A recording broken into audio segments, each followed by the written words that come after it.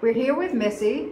Missy is the dog who had been adopted two years ago when she was a little less than a year old.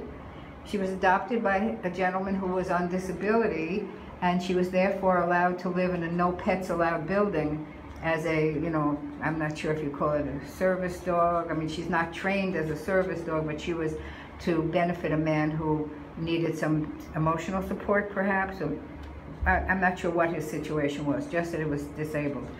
So now, two years later, happily the man has recovered and gone back to the workforce, and the landlord said that she can't stay anymore because it's a pet, no pets allowed building. So after two years in a home, this poor dog is thrown back into the shelter system. At home, she played in the dog park, was friendly with other dogs, and lived with a toddler. But since she's been back here, she's very stressed and does not appear to like other dogs. Obviously, it's not true since they insist and they have told us since she's been here that that was the case. So I'm sure when she leaves here, she'll wind up being dog friendly again. Um, if you have a dog, a calm male dog, and want to bring him to meet her, there's no reason why we couldn't try that. If you are looking for an only dog, she'd be perfect. Missy is a petite dog, about 40 pounds.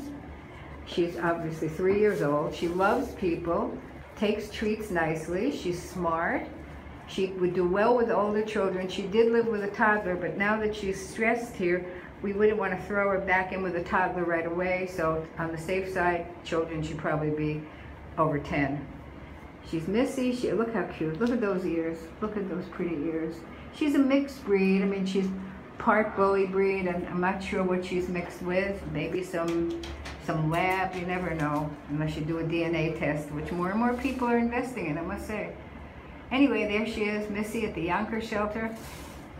If you're interested or if you have a question, give us a call, send an email, send a text. It's all at the bottom of the post. Bye now.